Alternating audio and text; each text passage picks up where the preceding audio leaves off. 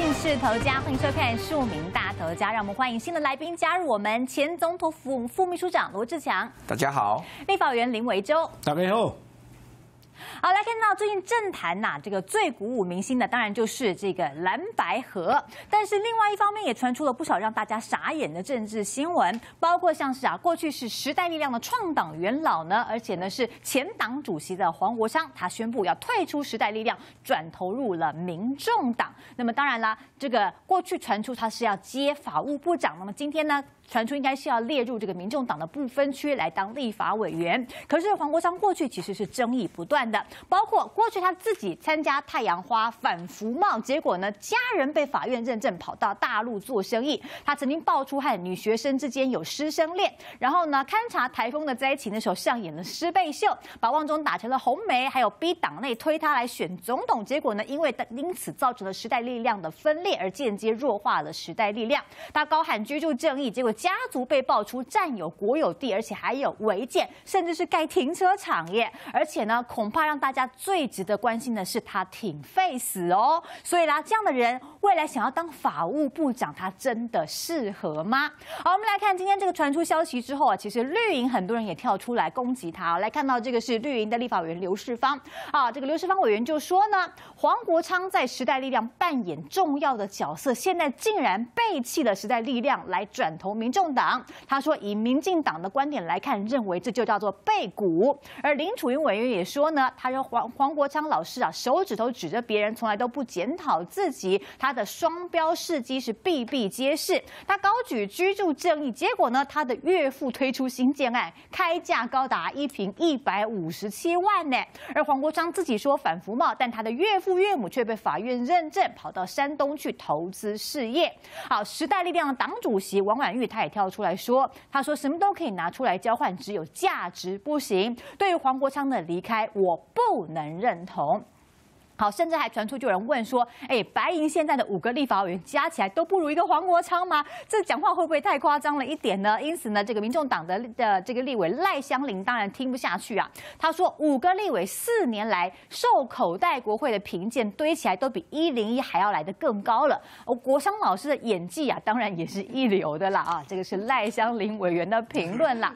好，黄国昌不只是争议连连，他所谓的监督好像永远都是指责别人不检讨自。自己既然他自诩是个战神，想要当立委，为什么不自己去选呢？这样做难道不投机吗？这个志祥怎么看？我想现在应该是检验不分区的旺季哈，因为 三党的不分区都陆续的要展现。不过这次的不分区的检验哈，跟之前会有一个很大的不同，就是你看，其实坦白讲，这个民进党不分区出来哈，争议真的非常的大哈，里面有这个黑熊学院啊的院长。好，那好像就是要执行民进党的抗中保台，那当然也包括说像这个范云哈海民进党无耻的政党的范云啊，那可能因为三加十一害全台湾这个坐牢的破功哈，让我们的台湾受害，那民进党反而认为是战功，所以也就获得连任哈。但是我也我要讲的说，包括民众党可能接下来国民党的公布哈，事实上不分区立委的这个检验，我觉得可能强度都不会太够了。为什么？因为这几天的时间，大家心心念念的哈，都还是蓝白河的问题啊。所以因此你会发现，版面虽然有些立法委员的那个，不管是这个正面负面哈，都非常的精彩，但是媒体能够 share 它的版面非常的少哈。那当然，接下来我觉得黄国昌列为民众党的不分区立委，当然我觉得。他过去很多的一些啊，就是都要值得检验的。好，那到，民众党当然就要针对说黄国昌哈，不管是哪个面向的检验，这个不分区立委的提名的民众党就要来面对社会的检验。但是，其实我更关注就是说，接下来觉得很多的不分区立法委员哈，他应该要拿出来出他的那个进到国会想要去改变的是什么？那比方说，我想这个民众党过去。很多立委哈，包括说你说黄国昌也好，他们曾经有些东西我是蛮关注的啊，就是包括我们的司法改革的问题哈。那民进党过去这些年啊，我觉得我最在乎的一件事情，到现在就是就是纹风不动，就是那个妨害司法公正罪，妨害司法公正罪。那你知道过去在民进党也曾经在这个我们的司法国事会议当中哈。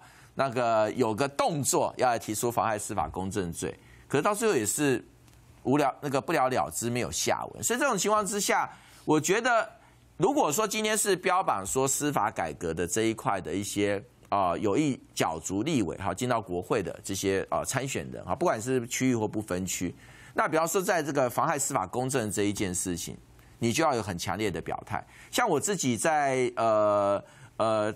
抛证件的过程当中，我曾经跟游淑慧还有跟那个徐小新，我们曾经有一个证件联合，我们就把我们变成一个共同证件，就是什么？如果进到立法院哈，我们不会让这个妨害司法公正罪摆烂的哈。为什么？因为看现在很多的民进党之所以手能够伸到剪掉啊，甚至很多的一些司法的一些呃决定，但大家觉得哎疑云重重，为什么呢？因为事实上。在台湾哈是一个非常有趣的地方，就在台湾官说司法是无罪。的，你知道全台全世界就台湾哈，我们官说司法无罪，你官说司法无罪，当然是有权利人就去官说嘛，所以因此我觉得证件的检验是非常重要一件事情，所以我也期待说，呃，所有的不管是不分区或区域的立法委员啊，你如果过去常常强调司法这一块啊，或是有志来当所谓的法务部长的话，那么我觉得。司法证件的检验，应该是要当做重中之重。黄国昌退出时代力量，民进党的发言人林楚英就抨击他，他说黄国昌总是啊手指别人，自己却搞双标。过去黄国昌反服贸，结果呢他自己在大陆卖书，然后他的岳父母被认证去山东投资。黄国昌他当初搞出了太阳花运动，帮助了蔡英文取得大位，害台湾的经济陷入了停滞空转。现在民众希望两岸可以对话和解了，黄国昌又要甩掉了绿营来站到人民的这一边吗？那面对台海兵凶战为百姓希望和平，黄国昌他到底抱持什么立场呢？他会跟赖清德一样不惜让老百姓上战场吗？斌哥怎么看？我先讲哦，就是民进党怎么好意思骂黄国昌，我就觉得很趣味。他说那个刘世芳讲说，现在背弃实力转头，以民进党观点来讲，这叫背股。我请教一下，你民进党现在收了多少个时代力量的背股？现在正代表你们选的那个黄杰，不就是时代力量的吗？啊，林亮君不是也是吗？你们到底在干嘛？我我我真的觉得刘世芳难怪你的水准就只停留在扯比扯铃还扯，就是这样。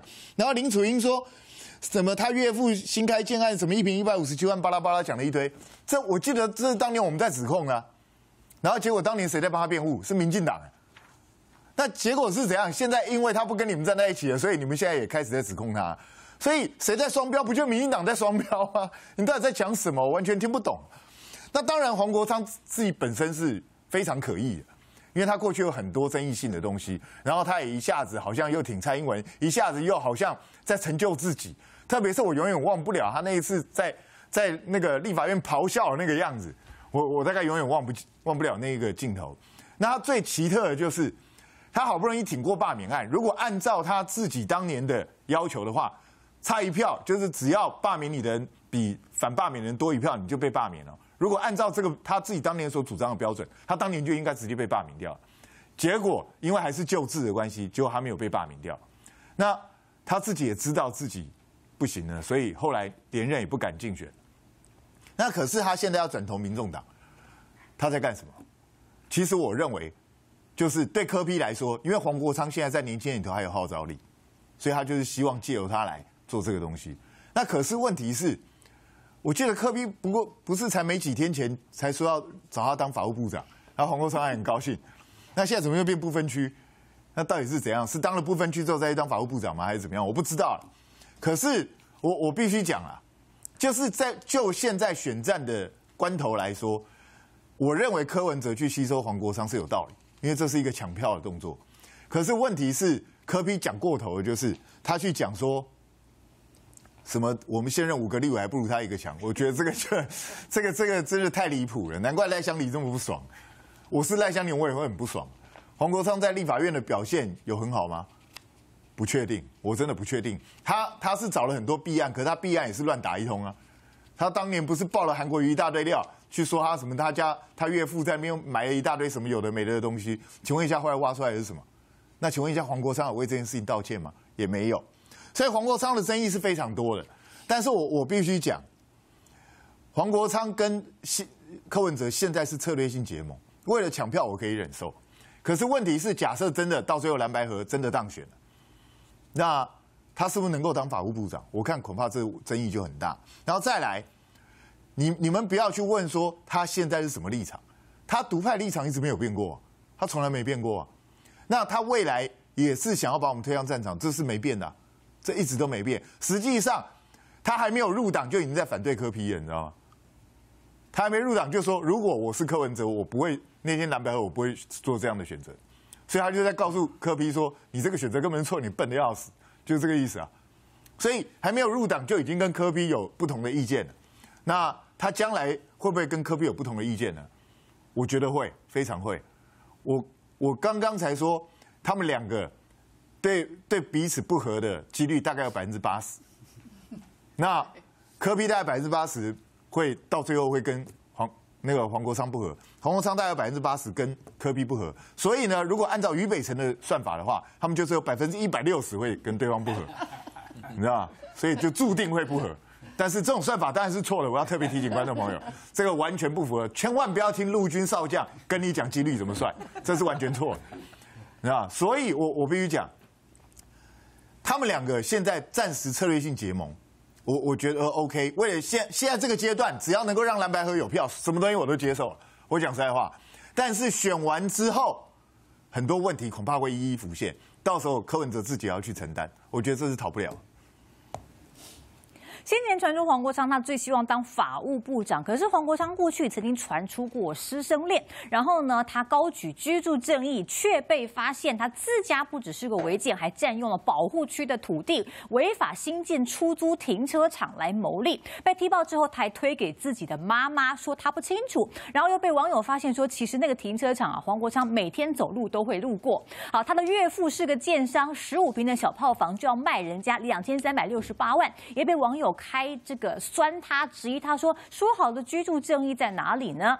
过去民党的官员出轨上酒店被民众抨击官真不正，那以黄国昌的私德表现来看，他真的很适合当立法委员，甚至是能够当法务部长吗？委员怎么看？我我觉得这样的，第一个我要帮这个民众党的五位立委哈 说公道话哈。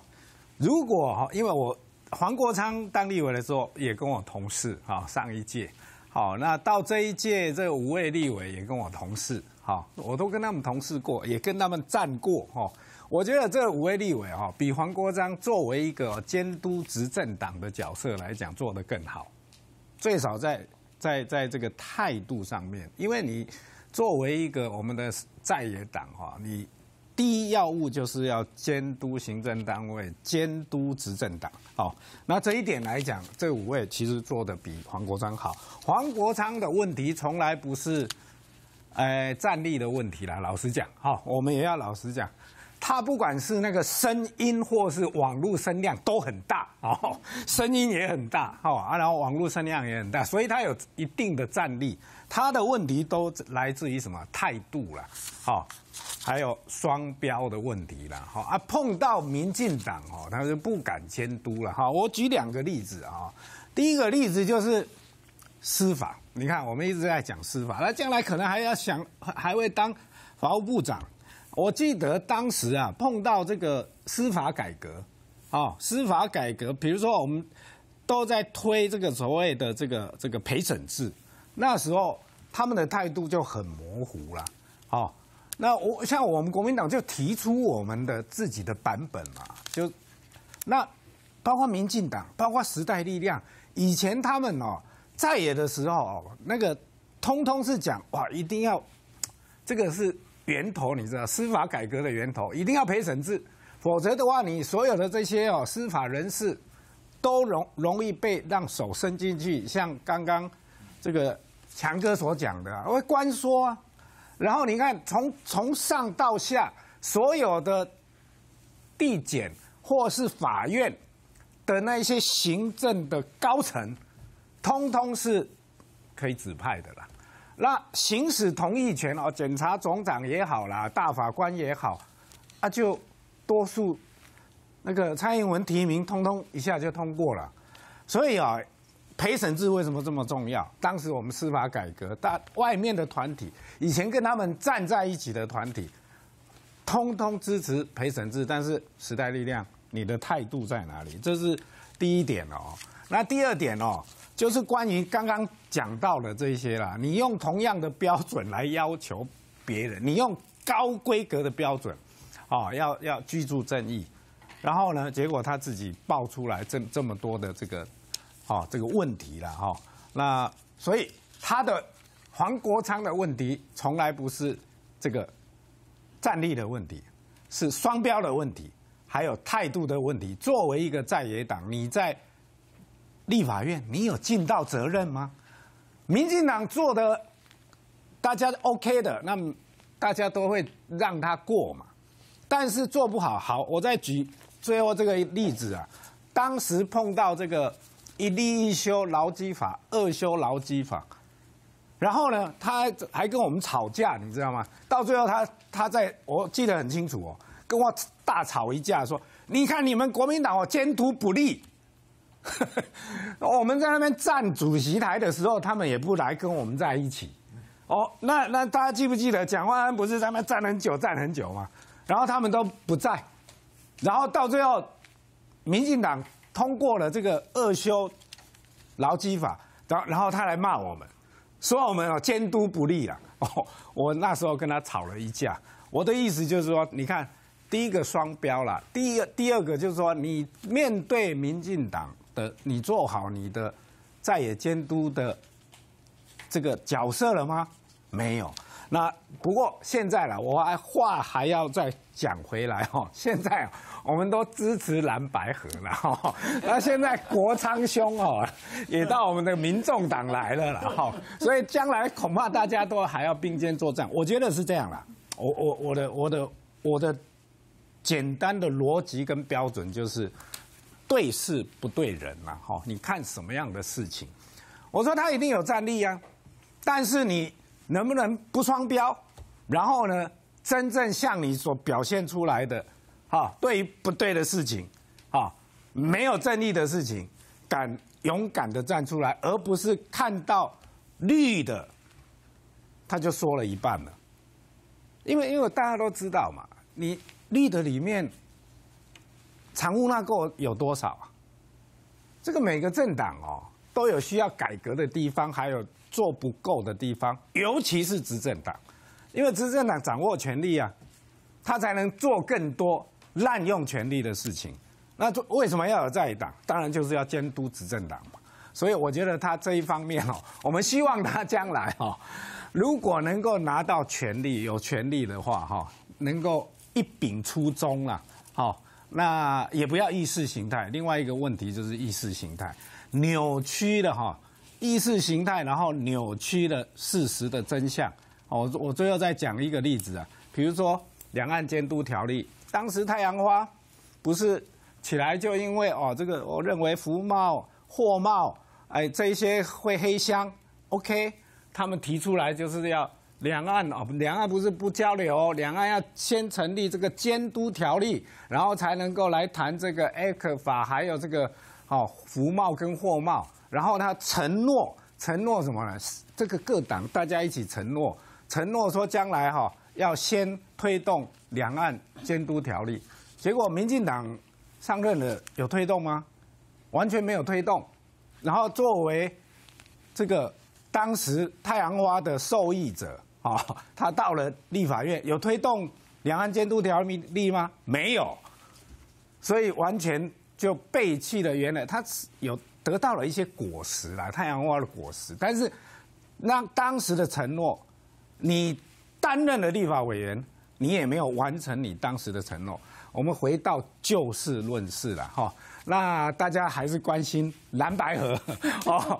我们希望哦，这个蓝白河哦，我还是要讲一下哈。明天就关键了哦，啊，能够有好的结果了。好，一些，哦，一些现现在当然还有一些各自的言语啦，这些。这个这个，但是哦，大方向要抓住，哈，政党轮替是这一次为什么要蓝白合最主要的原因。我们不希望让权力啊在泛滥。绿营执政八年了，将近八年了，再让他们执政下去啊，大家都不好过了，手都会伸到所有权力都只是为了让权力更膨胀，然后手伸到各个领域，除了行政权以外，我最在乎的就是伸手到司法，还有立法，在立法院我们看得最清楚，所以一起来努力吧。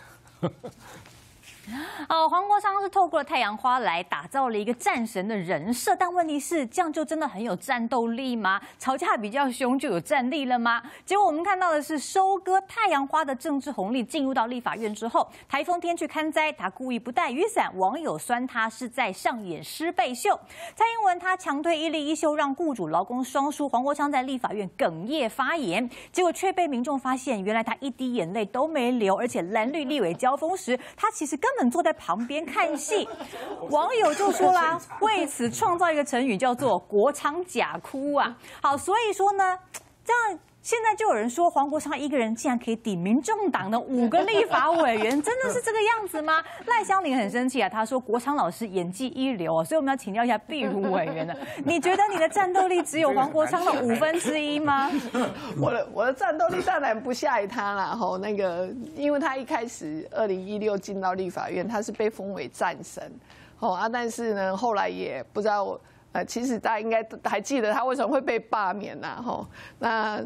那但是当然罢免没有过，但这个人争议当然一直以来其实是事实上讲，他是话题不断，争议也不断了哈。那现在就是说要来。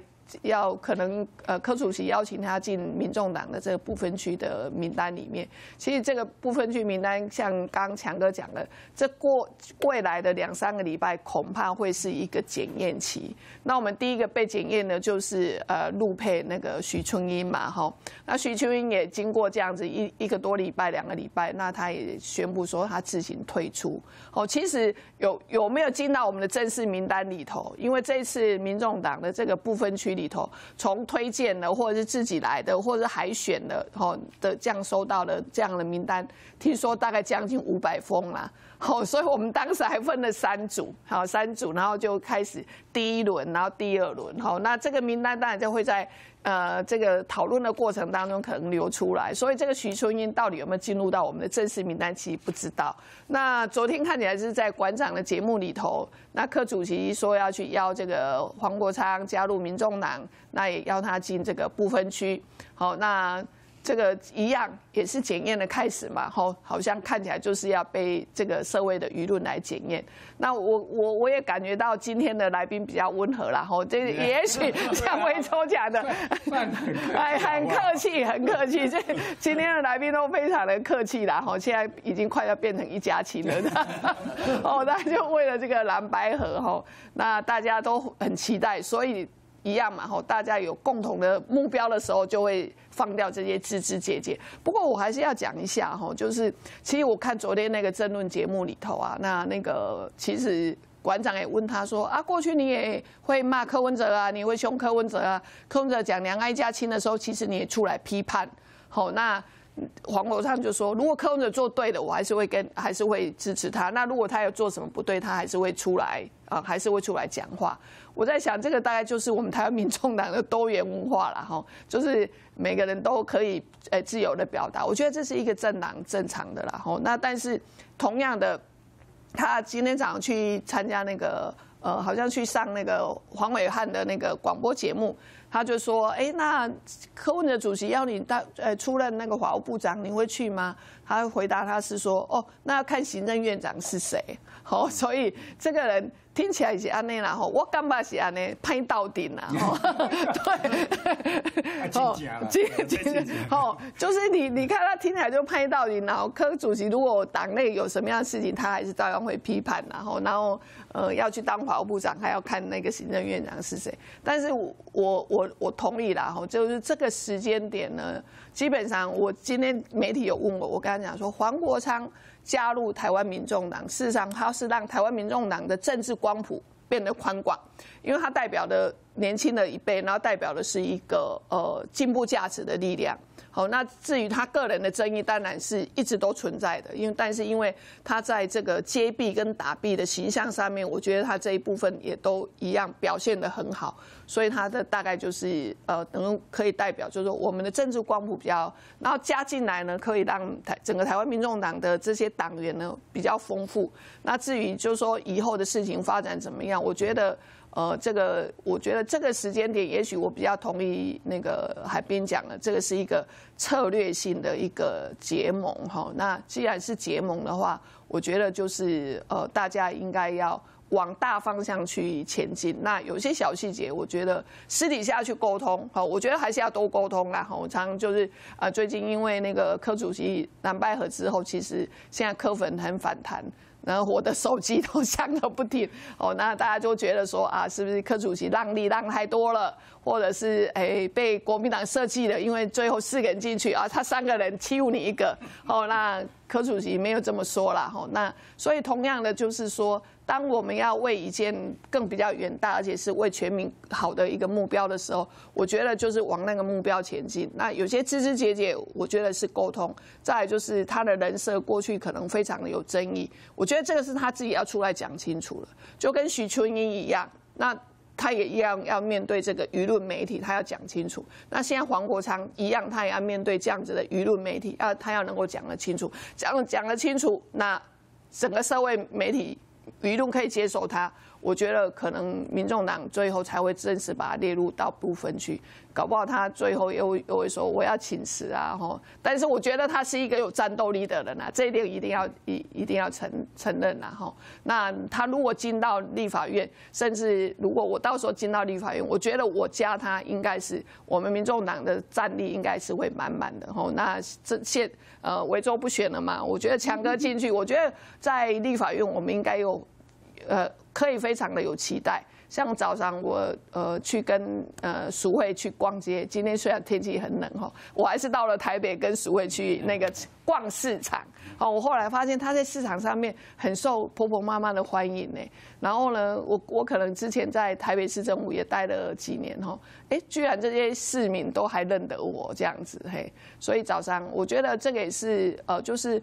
呃，在野的力量，我们等于是说明天要公布这个蓝白合的结果，但是苏卫就跟我们说，今天呢是我们在野的力量呢一起展现在媒体前面，那我们就是呃一起来发挥这种在野的力量，这样子，我觉得一样。黄国昌的事件呢，他看起来是一个有战力，但是是一个有争议的的人物，他必须要为他自己能够呢来辩护，那能不能过关，就是要靠他自己，一样用他的战力来说服社会。好，我们先休息一下，马上回来。